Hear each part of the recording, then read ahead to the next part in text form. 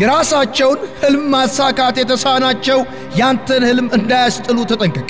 ሕልማቸውን ዋጋ ከፍለው ለማሳካት በሚፈሩ ሰዎች ምክንያት አንተ ከመንገድ ልትስት አይገባም።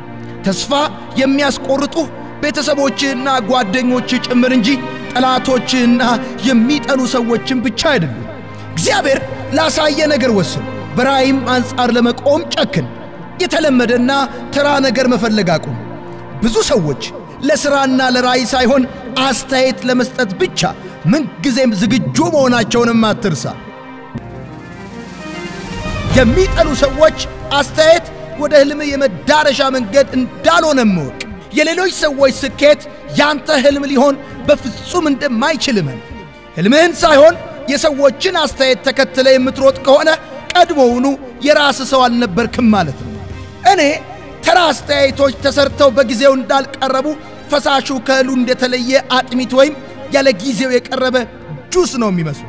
ማንም ሰው አስተያየት ሊኖረው ይችላል። ነገር ግን አስተያየት ተሰጠ ብዬ ይህንንም ያንንም አላግበሰብስም።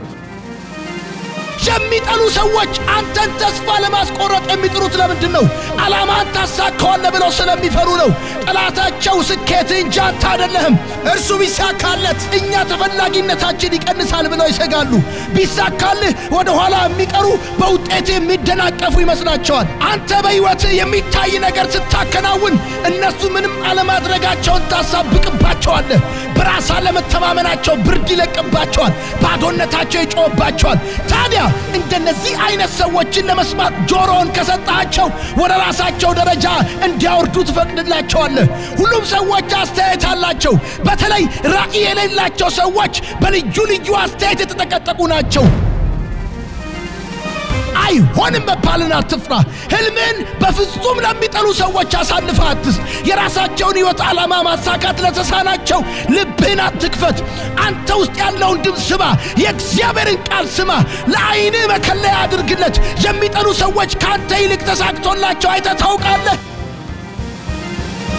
የሚሳካላቸው ጥላቻቸው ብቻ ነውና ቢሳካልህ እንኳን ይበግናሉ፣ ቄንጥ ያወጣሉ እንጂ አያደንቁህም። ጥላቻ ያለ ፍሬ ተጸንሶ ያለ ማዕፀን የሚወለድ ጭራቅ መሆኑን ሰዎች ሲናገሩ ሰምቻለሁ። የሚተቹን ሰዎች ተዋቸው፣ አንተ ግን ስራህን ዝም ብለህ ቀጥል። ምን አለ በለኝ። ማዕበሉ እንዳለፈለት ባህር ጸጥ ሲሉ ታያቸዋለህ።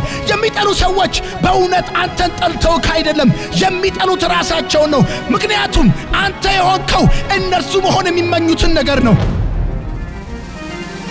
እያንዳንዱ ስኬታማ ሰው ጠላቶች ይሰበሰቡበታል። የባሰባቸው ደግሞ ተደራጅተውና ቡና ጠጥተው ክፋት አጠራቅመው ይመጡብሃልና አትስጋ። ክፋታቸው ሲያልቅ ይበተናሉ። ጥላቻ ቋሚ ግንብ የለውም። እዚህም እዚያም የሚተከል ቀዳዳ ድንኳን ነው። በሕይወቴ ዘመን ሁሉ ጥላቻ ኖሮት የተሳካለት ሰው ፈጽሞ ገጥሞኝ አያውቅም። ስኬት ሌሎችን የሚጠላበትና የሚንቅበት ዲኤንኤ የለውም። ጠላቶች አሉ፣ ጥሩ ነው። ይህ ማለት በአንድ ወቅት በሕይወት ለሆነ ነገር ጠንካራ አቋም ወስደሃል ማለት ነው። አሸናፊዎች ትኩረታቸው ማሸነፍ ላይ ነው። ተሸናፊዎች ትኩረታቸው አሸናፊዎች ላይ ነው።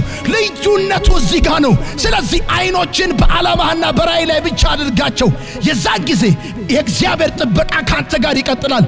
ምክንያቱም በመነሻ ውስጥ ጥላቻ፣ ስስትና ንቀት የለበትምና።